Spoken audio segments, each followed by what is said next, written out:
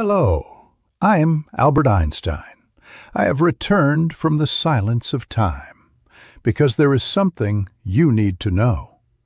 I am remembered for the theory of relativity, but in 1939 I faced a dilemma that changed the fate of humanity.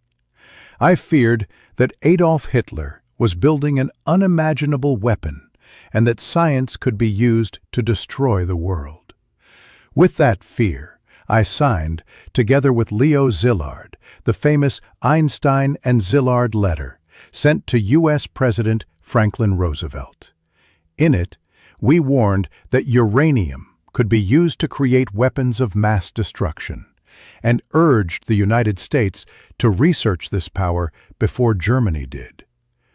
That letter was the spark that ignited the Manhattan Project, which built the first atomic bombs in history. But I never worked on the project. And when I saw Hiroshima and Nagasaki in ruins, I realized the weight of what I had done.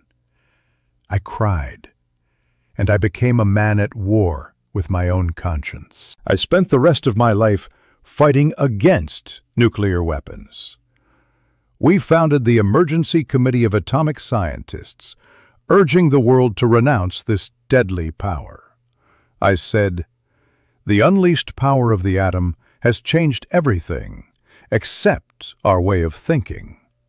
We must change our thinking if humanity is to survive. My mind created the formula, but my heart never wanted the explosion. On the Marvels and Mysteries channel, the ghosts of history return to tell their truths. Leave your question in the comments. The best ones may become new episodes.